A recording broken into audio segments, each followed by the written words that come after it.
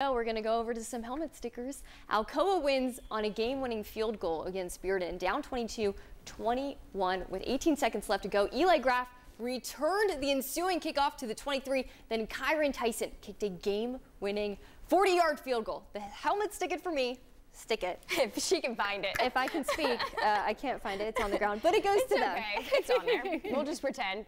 And you know, another game tonight decided with a game winner. Juwan Harris scored the game-winning nine-yard TD. Maddox backfield also picked off the ball in the end zone. So they both get a helmet sticker tonight. And my first helmet sticker, so that should mean even more.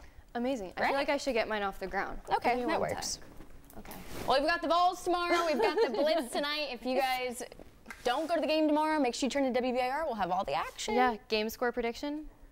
Vols roll, big time. All right, I think I'm gonna go like 42 to 10 for that one. Okay, I, I think, think, we'll win by like mm, 50. Yeah, I, I, well, Camille's a Vols fan. I know, so, I'm you know, she's a little bit biased. she went biased. to UT. So we got to give it to her. You know? But not wearing orange tomorrow, and that's all that matters. That's all that matters. We're not biased on WBIR, guys. Come but on. first game back in Neyland, it's going to be hot. Make sure you drink your water, get the shade. Make sure you don't pass out. That's the most important have, thing. We won't have the luxury of having shade, so make sure you guys have it. Uh, good night. We'll see you guys next time on The Blitz.